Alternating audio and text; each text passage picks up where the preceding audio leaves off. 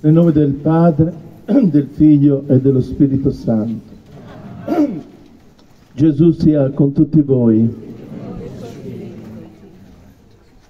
Spesso una delle cose più stupide che dicevo ai genitori a cui era morto i figli era di cercare un senso alla morte di un figlio. Poi mi sono accorto che è una stupidaggine. Che senso ci puoi trovare? Ci puoi ragionare mille volte e non ci capirai niente.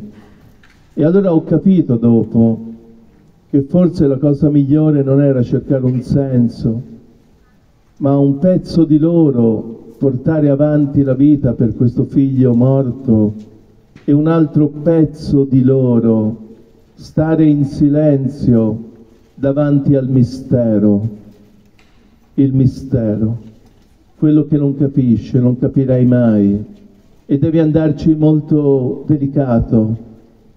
E tanto più noi dobbiamo imparare ad andare davanti ad ogni mistero con grande silenzio, con grande rispetto. Ed è un mistero questa bellezza di natura, ed è un mistero ogni persona, ognuno di voi è un mistero. E allora devo, mi devo avvicinare con silenzio, con rispetto, come dice Madre Teresa, con dolcezza e umiltà. Dovremmo avvicinarci a un figlio, alla tua donna, al tuo uomo, un amico, con dolcezza e con molta umiltà. E quel poco che ho capito in questi anni è che la vita delle persone cresce nascosta, segreta. Io non lo so con quale eredità voi siete venuti al mondo. Io non lo so quale ferite avete passato e ci devo andare piano a giudicarvi. Non conosco quasi niente, soprattutto le motivazioni profonde. E allora stai calmo, stai in silenzio, abbi rispetto e io quando mi avvicino alle vostre storie e me le raccontate, più ascolto le vostre storie e più si placa il pensare arrogante di chi crede di conoscere la vita. Non lo so. E allora la cura, che è l'unica cosa che puoi avere, la cura verso le persone intorno a te, le persone che ami, la cura nasce se la vita di una persona ha importanza per te. Più una persona è importante per te e più sei delicato, più sei rispettoso. E sarebbe molto bello non avere cura solo dei due o tre accanto a noi, ma avere cura di tutta questa massa che oggi è qui insieme a noi, aver cura di tutta l'umanità, di tutti i popoli. Proviamo con un po' di silenzio a tirar fuori da noi delicatezza, silenzio, rispetto e cura.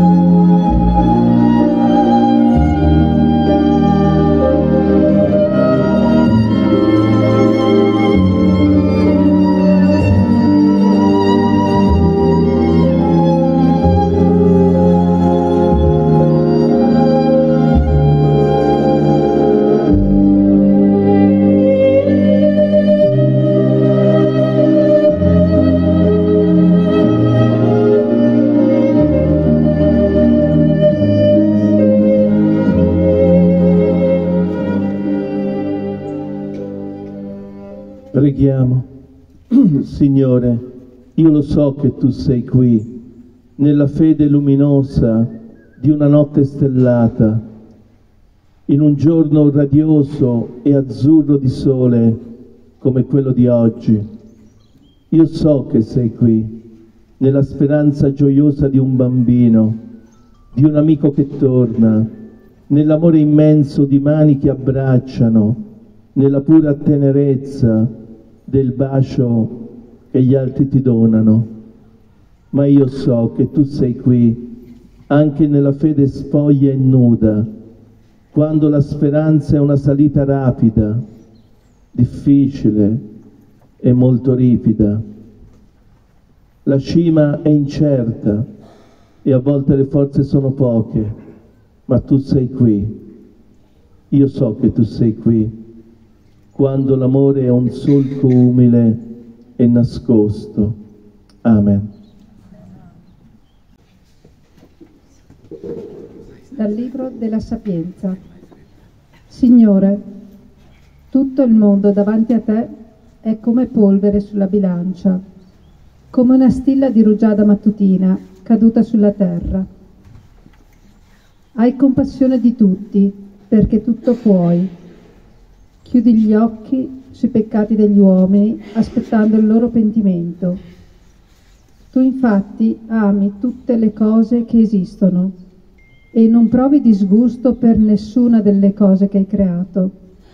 Se avessi odiato qualcosa, non l'avresti neppure formata. Come potrebbe sussistere una cosa se tu non l'avessi voluta? potrebbe conservarsi ciò che da te non fu chiamato l'esistenza. Tu sei indulgente con tutte le cose, perché sono tue, Signore, amante della vita, perché il tuo spirito incorruttibile è in tutte le cose. Per questo tu correggi a poco a poco quelli che sbagliano e li ammonisci ricordando loro in che cosa hanno peccato, perché messa da parte ogni malizia, credano in te, Signore. Parola di Dio.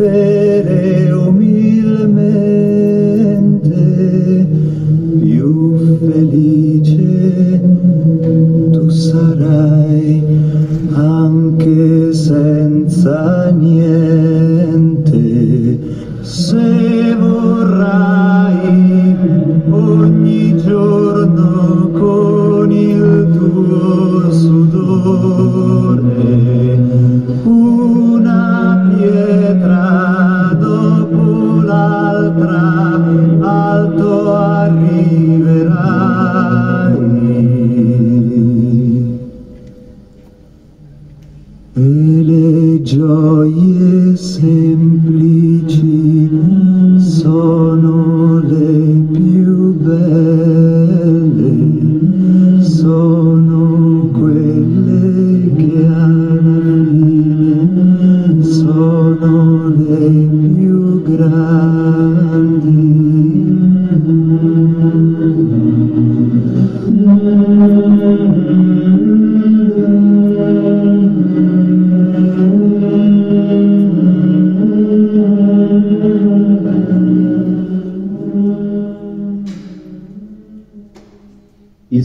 sia con voi. Dal Vangelo secondo Luca. In quel tempo Gesù entrò nella città di Gerico e la stava attraversando, quando ecco un uomo di nome Zaccheo, capo dei pubblicani e ricco, cercava di vedere chi era Gesù, ma non gli riusciva a causa della folla perché era piccolo di statura. Allora corse avanti e per riuscire a vederlo salì su un sicomoro perché doveva passare di là. Quando giunse sul luogo, Gesù alzò lo sguardo e gli disse, Zaccheo, scendi subito, perché oggi devo fermarmi a casa tua. Scese in fretta e lo accolse pieno di gioia. Vedendo ciò, tutti mormoravano, è entrato in casa di un peccatore. Ma Zaccheo, alzatosi, disse al Signore, Ecco, Signore, io do la metà di ciò che possiedo ai poveri, e se ho rubato a qualcuno, restituisco quattro volte tanto. Gesù gli rispose, Oggi per questa casa è venuta la salvezza, perché anch'egli è figlio di Abramo. Il figlio dell'uomo infatti è venuto a cercare e a salvare ciò che era perduto. Parola del Signore.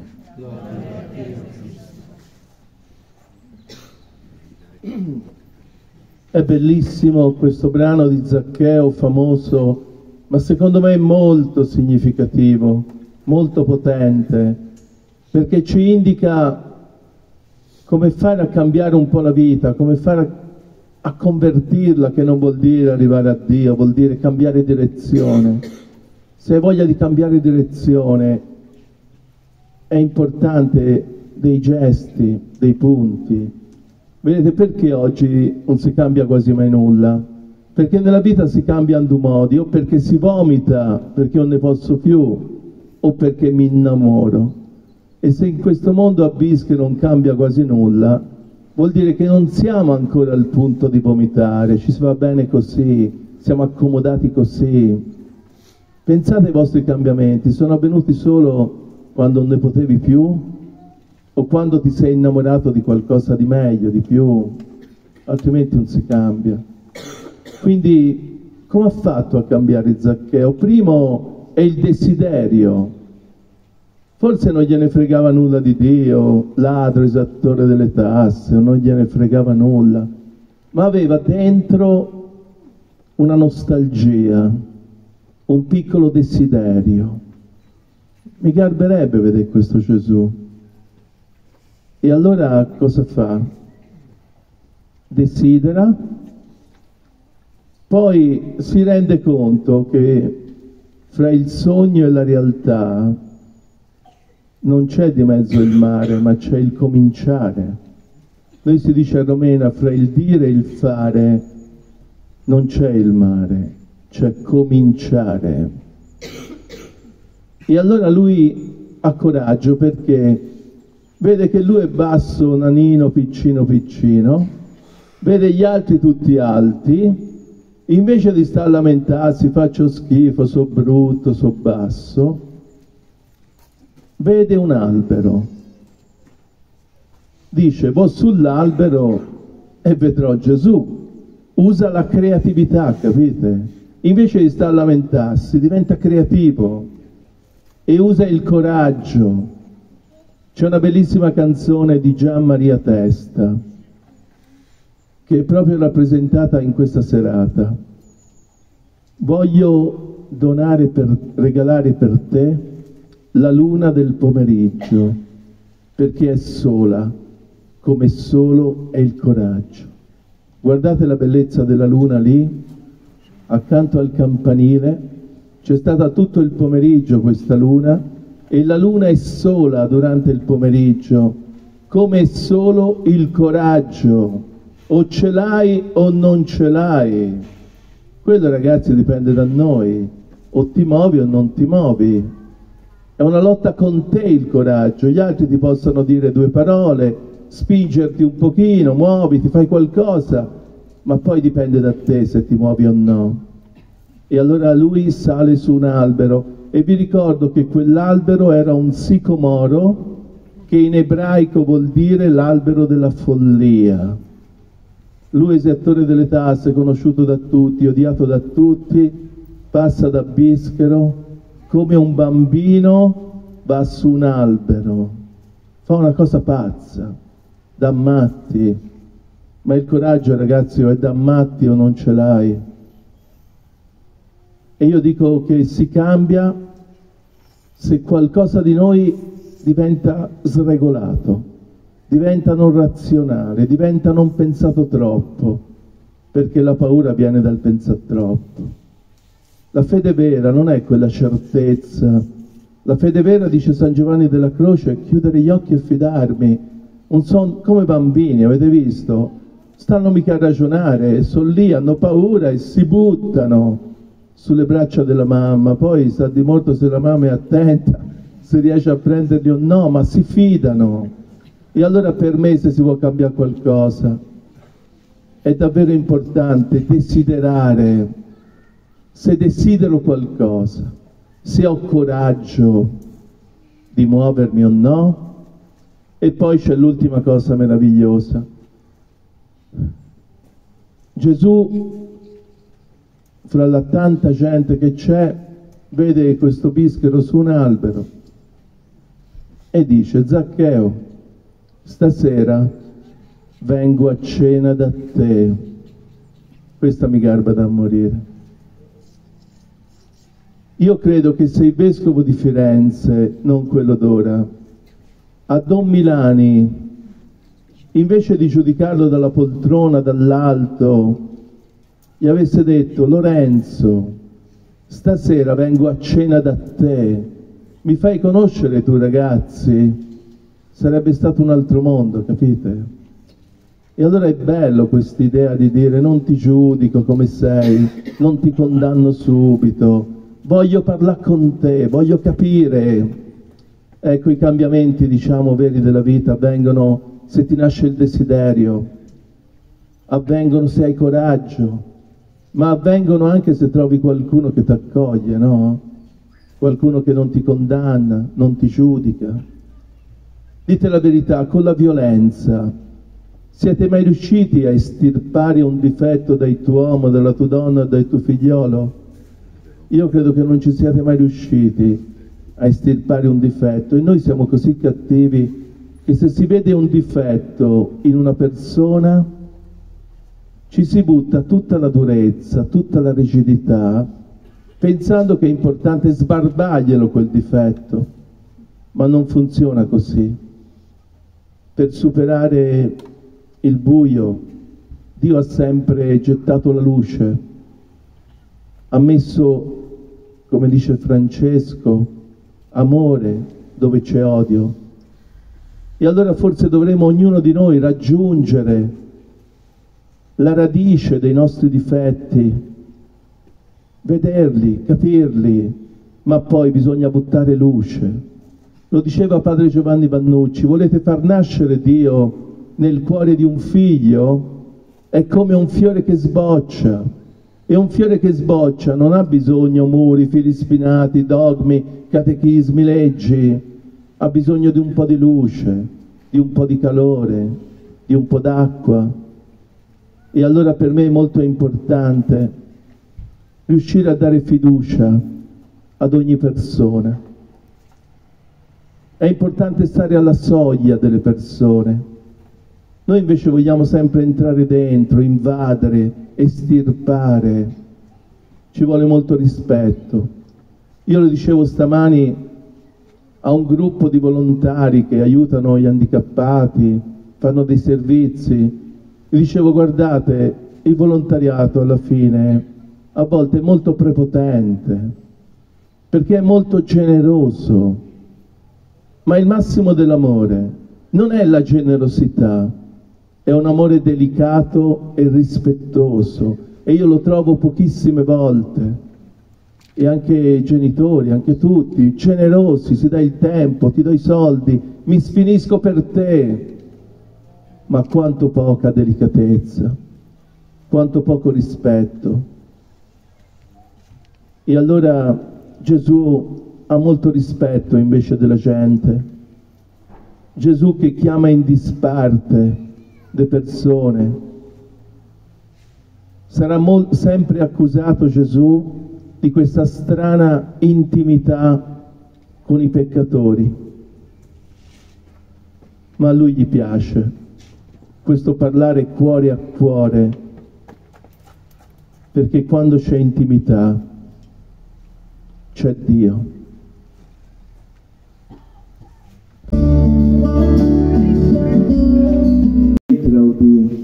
E rovina il nostro guardaroba di scuse, le nostre maschere fisse di rettitudine, la falsa familiarità senza intimità.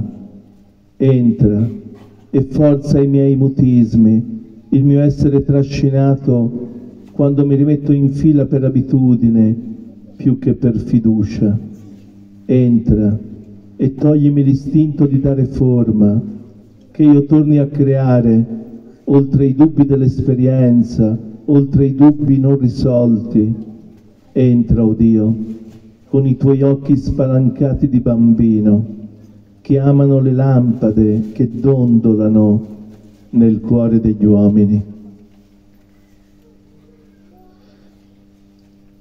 Vi auguro che come per Zaccheo, anche per ognuno di noi, ci sia un albero, per ognuno di noi ci sia uno sguardo che ci possa aiutare, che come Zaccheo quello che desideriamo lo dobbiamo corteggiare, lo dobbiamo seguire con gli occhi, dobbiamo accoglierlo in casa, lasciandoci visitare il cuore. Per quello che prima ho detto,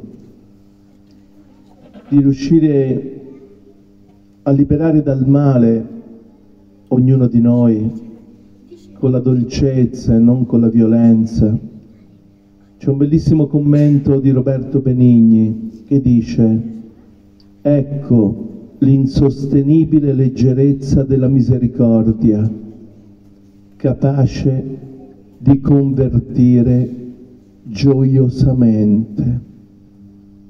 Possa la via crescere con voi, il vento essere alle vostre spalle, il sole scaldare il vostro viso e possa Dio tenervi nel palmo della sua mano Prendetevi tempo per amare, perché questo è il privilegio che Dio vi dà.